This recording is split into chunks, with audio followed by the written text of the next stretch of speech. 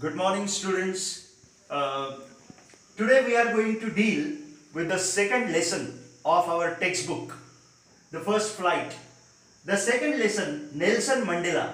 This lesson is an extract taken from the autobiography Long Walk to Freedom. Now, Nelson Mandela is a famous legendary figure, world figure, a great statesman, and most importantly, a great social reformer who fought against the evil political system in South Africa. Dear student, it reminds me the great fight of the social Indian reformers like the architect of Indian institution, Bharat Ratna Dr. B.R. Ambedkar, who also fought against many evil systems in India.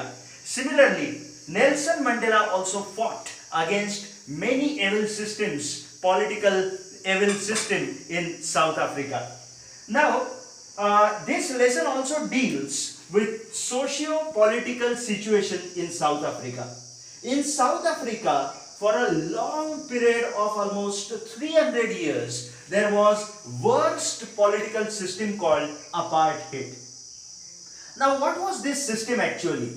This system separated people of South Africa according to their race. In short, for white people in South Africa, there were different rules, whereas for black people, they were deprived to live like the human beings. The white people in South Africa could enjoy all sort of facilities, all sort of luxuries, but the same things were not allowed for black people. The black people in South Africa were tortured by white people and they were treated in a worst manner even than animals in South Africa. And that is why the great social reformer like Nelson Mandela and his team fought against this evil political system the worst political system. Even Mr. Mandela calls it that it was an extraordinary human disaster which remained in South Africa for three centuries. And dear student, we must remember one thing that uh, Nelson Mandela is one of the three non-Indian great uh, figures who is the recipient of the highest Indian uh, civilian award, Bharat Ratna. He is the recipient of Bharat Ratna. So this story tells us the great sacrifice, the great fight of Nelson Mandela and the like-minded people in South Africa who fought against this extraordinary human disaster. The black people were not allowed to live like even human beings. They were deprived of many facilities. As I said, there was discrimination, different rules were there for white people and different rules were there for black people. The black people, it was the question of their survival and that is why Mr. Mandela fought against this most extraordinary human disaster, the worst political system which is a stigma on the uh, world history or we can say in the history of South Africa and finally, when Nelson Mandela uh, could successfully get the political emancipation. Now, emancipation means freedom. So, when they got the political emancipation from the apartheid, then ultimately uh, the lesson deals with the great inauguration ceremony. But before that, the students, let me tell you that what was the uh, impact of apartheid on world politics. As a result of this worst, worst system, worst political system called apartheid, the entire world had literally broken the diplomatic bonds, the diplomatic relationship with South Africa and there was literally boycott on South Africa only because of the worst system uh, of apartheid.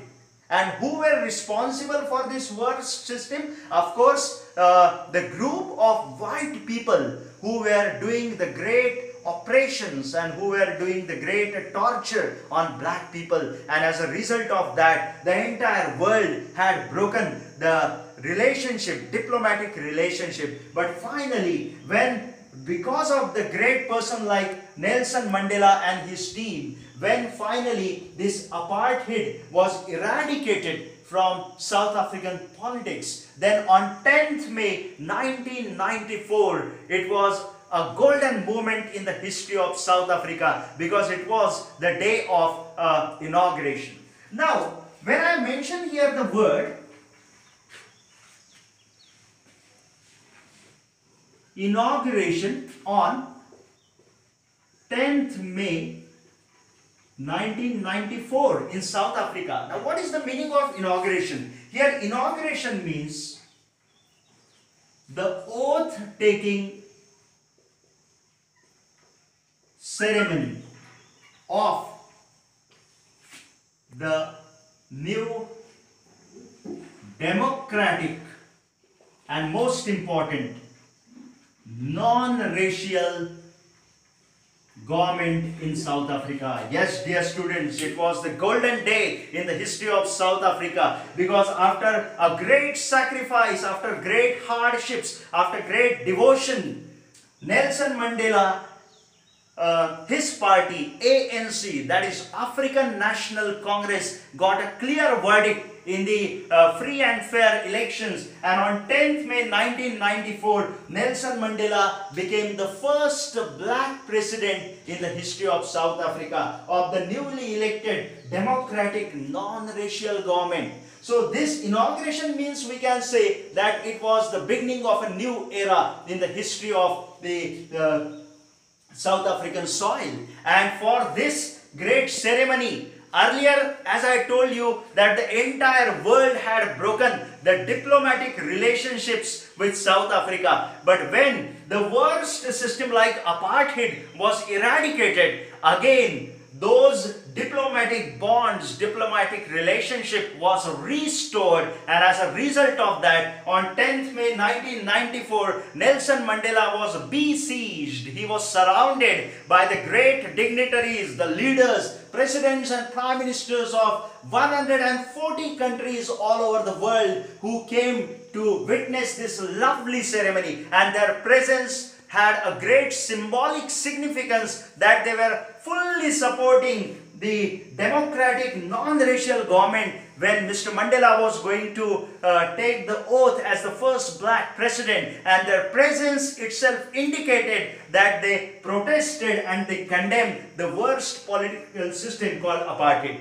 Now where this uh, inauguration ceremony took place, this inauguration ceremony, dear students, took place in the Union Buildings of Pretoria. There was an amphitheater. What is amphitheater? Amphitheater is an outdoor stadium or outdoor theater which was the seat of white supremacy. There was a monopoly of white people for almost three centuries, 300 years. But today, because it was the beginning of new golden era, uh, the first black president of South Africa, Mr. Nelson Mandela, was going to take the oath and he was also accompanied by his daughter Zenani on that great day. And after taking oath, Nelson Mandela addressed the world leaders. And let me tell you that, dear students, it was a jubilant and spectacular ceremony in the Union Building uh, Amphitheater of Pretoria of the inauguration when Mr. Mandela took oath as the first black president of South Africa. And after taking oath, Nelson Mandela thanked the world leaders, thanked the world community for supporting uh, Mandela's fight against apartheid. And not only that, Mr. Nelson Mandela had also set the goals or ideals for the future of South Africa. And after that, in this jubilant and spectacular ceremony. More than one lakh men and women of South Africa danced together, sang together. Not only that, there was a spectacular array, spectacular display of the jets, helicopters and troop carriers of the military of South Africa. And it was the symbolic uh, uh, gesture of the military and police that they were truly loyal, completely loyal with the newly elected democratic non-racial government. Even the high generals, the great uh, officers of the Air Force and military and the police officers saluted Nelson Mandela in that ceremony and Mr. Mandela mentions that the very few years ago the same officers would have arrested me but today they saluted Nelson Mandela and after that national anthems were sung on that day. The white people sang their national anthem Nkosi Sikelel' iAfrika and the black people sang their national anthem Die Stem. Again, it was the symbolic gesture that um, it was purely democratic government and after that ceremony Nelson Mandela literally had a great you can say jubilant historic pride in his mind. And tomorrow we will see uh, that what were the impacts of apartheid and what kind of hardships Nelson Mandela and his team had to suffer. But that we are going to see tomorrow. Bye bye